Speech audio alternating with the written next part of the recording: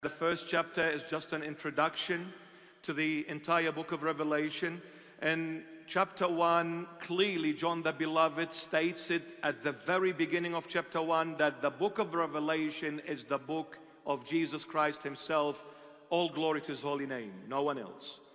And then chapter 2 and 3, the history of the beloved one bride of Jesus Christ, what will happen to His beloved church whom he has established on Calvary on the cross by his own precious blood. What will happen to his beloved church from the beginning till the end of the road? Beginning with Ephesus, and all these names, the seven names we said, are of a Greek descent. They are all of Greek names.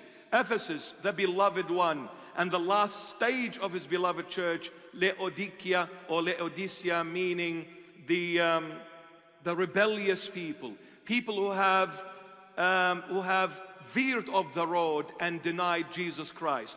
And we said that the 21st century, our time and age, the church is at the last stage. We are living Philadelphia and Laodicea. Philadelphia, Philos, Delphos, brotherly love. Laodicea, um, a rebellious nation or people veering off the road of the Lord Jesus. In other words, Laodicea, the church of Christ living in denial of Christ.